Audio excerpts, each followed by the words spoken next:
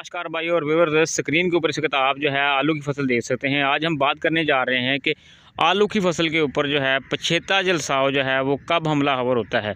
तो याद रखिए कि इसके लिए सबसे पहले मौसम का बड़ा अमल दखल होता है। सबसे बड़ी बात मौसम की होती है।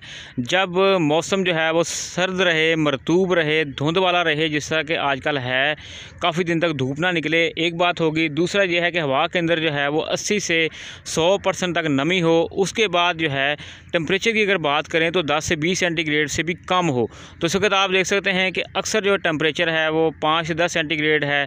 तो इससे ये तमाम अगर मौसम की सूरत हाल देखें तो ये तमाम का तमाम जो मौसम है, ये आलू की फ़सल के लिए जो है वो पछेते जलसाव का बायस बनता है।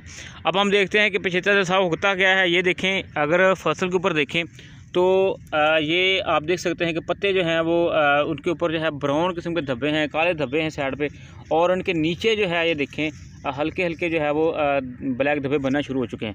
ये होता ये है कि ये आहिस्ता आहिस्ता पत्तों से इस स्टेम के ऊपर यानी कि टहनी के ऊपर और नीचे आलू की फ़सल को जो है मुतासर करते हैं, जिससे आलू की पैदावार काफ़ी मुतासर होती है।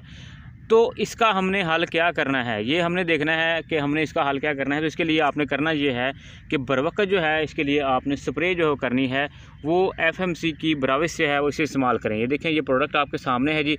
तो इससे आपने जो है इस्तेमाल करना है। 180 से लेकर 200 सौ एम फ़ी एकड़ आपने इसकी स्प्रे करनी है अपने आलू की फ़सल के ऊपर। याद रखें, इसका जो है वो बर वक्त अगर आप तदारक नहीं करेंगे तो एक, जो है वो बड़ा जो हिस्सा है वो आलू की फ़सल का और आलू का जो मैार है वो ख़राब होता है, फिर उसका अच्छा रेट नहीं लगता है।